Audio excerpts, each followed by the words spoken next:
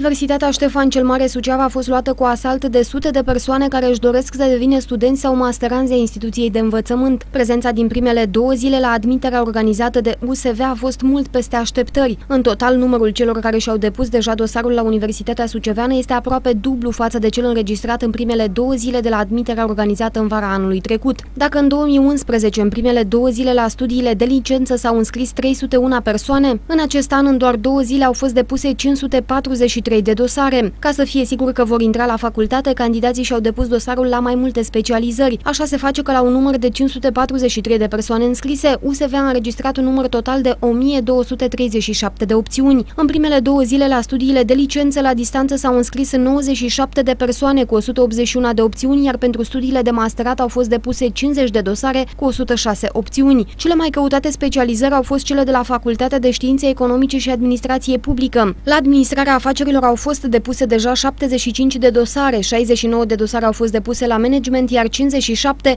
au fost depuse la finanțe și bănci. Există însă și specializări care deocamdată nu au foarte mare căutare în rândul candidaților la admiterea USV. De exemplu, la franceză-germană, în primele două zile a fost depus un singur dosar, iar la ingineria și protecția mediului în industrie și la nutriție și dietetică au fost depuse în primele două zile doar câte trei dosare. Cei care doresc să se înscrie la una dintre specializările oferite de Universitatea Ștefan cel Mare Suceava își pot depune dosarul pentru admitere până cel târziu marți 24 iulie.